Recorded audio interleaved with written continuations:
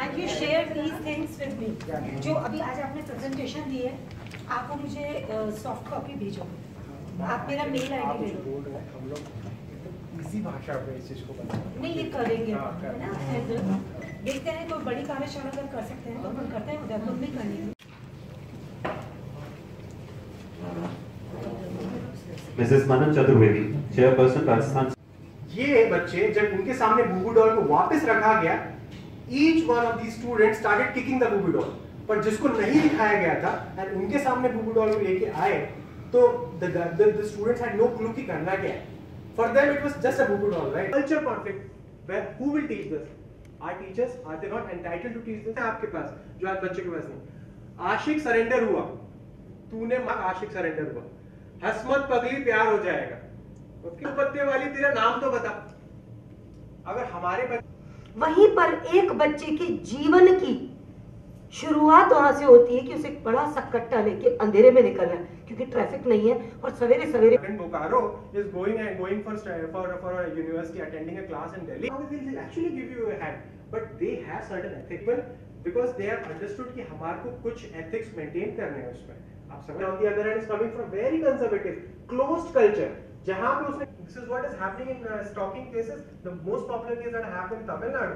The के ऊपर है आपने यूके की बात की ब्रिटिशर्स की बात की मैं अभी कल ब्रिटिश से ही आई हूँ और मुझे यहाँ दिन में मैं इंग्लैंड थी पिछले बारह दिन मैं वहाँ कमीशन चेयरपर्सन से भी मिली you know how many children are living in the present in UK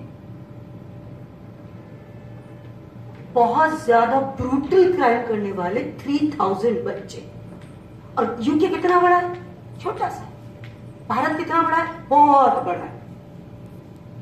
three thousand बच्चे अगर रह रहे तो मेरे वहाँ एक टिप थी मैम को, जो हम यहाँ कोशिश आज की कार्यशाला बहुत अच्छी क्रिमिनोलॉजिस्ट को लेकर बातचीत है, जिसमें कि पूरे समाज में जो भी क्राइम हो रहे हैं, जो भी चीज़ें हो रही हैं, और उसका रियल एनालिसिस कैसे किया जाए, उसको कैसे क्रिएट मतलब करेक्ट किया जाए, उसके बारे में पूरी स्टडी और पूरे व्यापक रूप से देखना कि क्राइम क्यों बढ़ रहे हैं, किस लिए बढ़ रहे हैं, किस तरीके के माइंडसेट काम कर रहे हैं, उस पर किन किन चीज़ों का प्रभाव पड़ रहा है these all things are very important इसलिए इसे एक साइंटिफिक कार्यशाला भी कह सकता है, इसे एक ब्रेन स्टॉमिंग अटैक भी कहा जा सकता है, जिसमें कि हम मिलकर चीज़ों को सही कर सकते हैं। एक जैसे साइकोलॉजिस्ट होते हैं, वैसे क्रिमिनोलॉजिस्ट हैं, जो कि किसी भी चीज़ को पढ़ के पुलिस प्रशासन और सरकार के साथ में पॉलिसी मेकिंग पर बहुत अच्छा काम किया सकता है। तो ये कार्यशाला बहुत इंपॉर्टेंट है। दिस इज़ अ इनिशिएटिव और मुझे लगता है इसमें पुलिस को और बड़े अधिकारियों को और सरकारी लोगों को, जनप्रतिनिधियों को एक बड़ी कार्यशाला अब कमीशन ऑर्गेनाइज करेगा, जिसमें सभी लोग भाग लेंगे, जिससे सेंसिटाइज होंगे और काम करने में प्रिवेंशन देन बेटर क्योर तो बेटर देन क्योर उस पर हम लोग काम कर सकेंगे